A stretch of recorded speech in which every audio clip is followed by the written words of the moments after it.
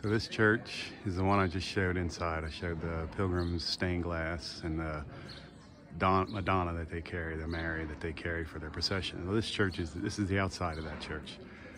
This church was uh, started in the 12th century, it says. So there's been a church, people worshiping Jesus here since the 12th century. Wow. It's been rebuilt and uh, you can see the different things, you know, that's been destroyed and put back and different changes and things that were made here. But, uh, wow, we weren't even thought of. The U.S. wasn't even thought of. Crazy times.